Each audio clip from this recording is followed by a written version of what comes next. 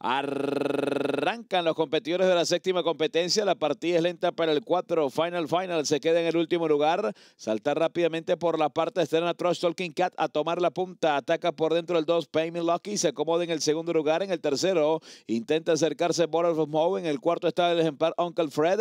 Luego trata de acercarse el número 5. El Cayo JT Wash junto al número 1. El ejemplar Galen Warren. Mientras que el número 4. Final Final se ha quedado en la última colocación. Trust Talking Cat se escapa en punta con 4 o 5 cuerpos sobre Pay Lucky que está en el segundo. 23-12 el primer cuarto de milla. Bottle of Moe está en el tercer lugar. En el cuarto aparece Uncle Fred. Luego trata de movilizarse el número 5. El Cayo JT Wash. Hace lo propio el número 1. Galen Warren. Mientras que el número 4 Final Final está en la última colocación. En la recta de enfrente. Trash Talking Cat está en punta con Julian Kutama. Ventaja hasta de 6 cuerpos del caballo Pemi Loki que está en el segundo en 47 para la media milla. Border of Moe está en el tercero. En el cuarto Uncle Fred. Al quinto intenta acercarse el uno. El caballo Galen Warren hace lo propio desde el fondo. El número 4 Final Final que continúa último. Dominando Trash Talking Cat. Sigue la ventaja de 5 de 6 cuerpos. Ataca Uncle Fred que pasa al segundo. Pemi Loki queda en el tercer lugar. En el cuarto intenta acercarse el caballo Border of Moe cuando van a ingresar ya